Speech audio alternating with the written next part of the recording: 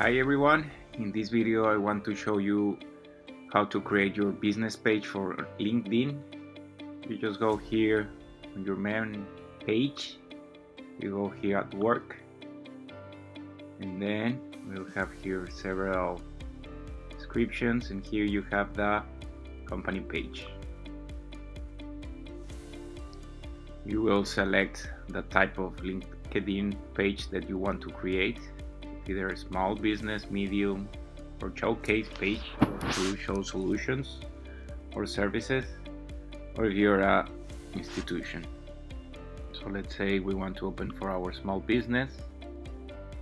Uh, we will create here the name.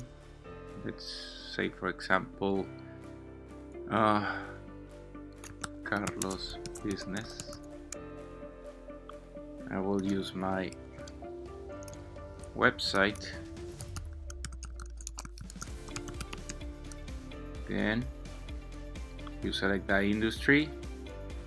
There are here the several options. So let's look for marketing company size.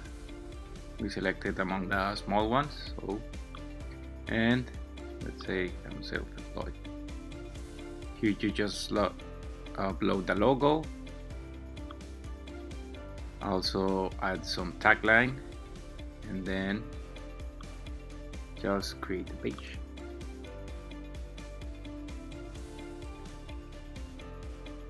And then you can follow up the following steps to keep adding more information.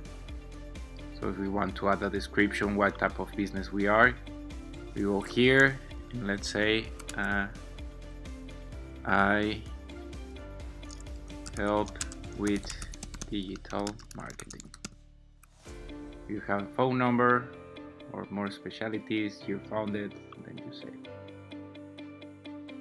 It's important to add or to have the most of the information fulfilled so that it's easier that LinkedIn has all your information. You have to be aware of that also.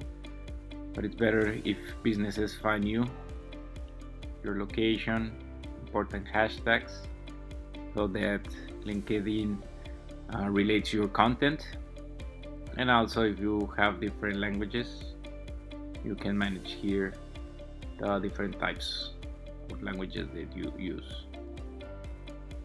Also, as previously mentioned, if you have your logo, or as well if you have your cover image then you can start creating your posts and sharing. So as easy as that, you can create your own LinkedIn business page. If you have any questions, don't hesitate to contact me. Thanks for watching.